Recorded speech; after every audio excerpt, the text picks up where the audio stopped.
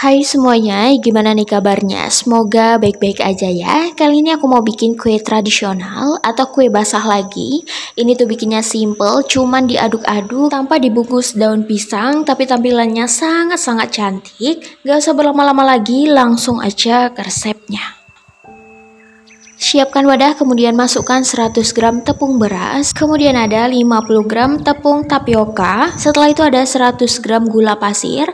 Nah, untuk penggunaan gula pasirnya ini boleh ditambahkan lagi kalau misalnya teman-teman suka manis. Setelah itu ada 1 sendok teh dan ada 400 ml santan. Nah, untuk santannya ini aku dapatkan dari satu bungkus santan instan yang ukuran 65 ml, kemudian aku tambahkan secukupnya air putih sampai takarannya itu 400 ml ya.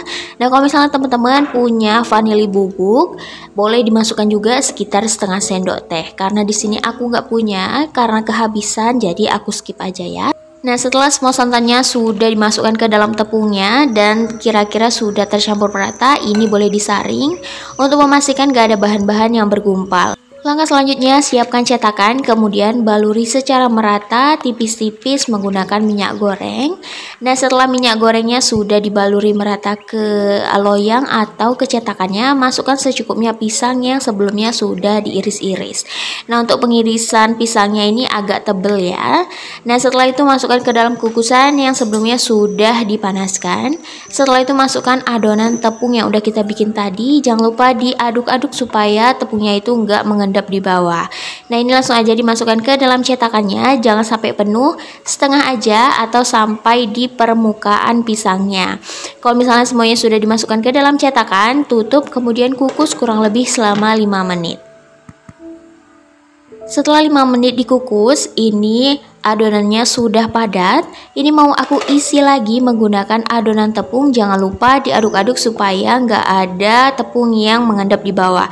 Nah ini langsung aja diisi tapi jangan sampai terlalu penuh ya. Nah ini langsung aja ditutup kembali dan dikukus kurang lebih selama 15 menit. Setelah 15 menit, kue nagasarinya ini sudah matang. Ini boleh diangkat, kemudian dinginkan terlebih dahulu. Setelah kuenya sudah dingin, baru boleh dikeluarkan. Jangan pas masih panas dikeluarkan, nanti kuenya bakal hancur. Nah, ini sudah dingin, boleh dikeluarkan secara ditarik kayak gini ya bukanya. Kalau misalnya nggak bisa keluar, boleh dibantu menggunakan pisau seperti ini ya. Ini bakal keluar si kuenya dari cetakan. Nah, kira-kira hasilnya itu seperti ini, cantik banget tanpa repot-repot membungkus pakai daun pisang sudah bisa bikin kue nagasari yang sangat enak. Di atasnya mau aku kasih hiasan potongan daun pandan. Nah, ini udah jadi dan udah siap disajikan. Ini boleh banget dijadikan ide jualan, sajian pas ada acara-acara besar atau acara-acara di rumah atau sekedar untuk cemilan keluarga. Teksturnya itu lembut banget. Untuk pisangnya dipastikan banyak ya karena tadi potongan pisangnya itu lumayan besar. Nah, rasanya tuh betul-betul enak banget, manisnya pas, gurihnya pas, kemudian lumer dan lembut banget. Nah, untuk teman-teman yang penasaran gimana rasanya, langsung aja dicobain resep ini ya.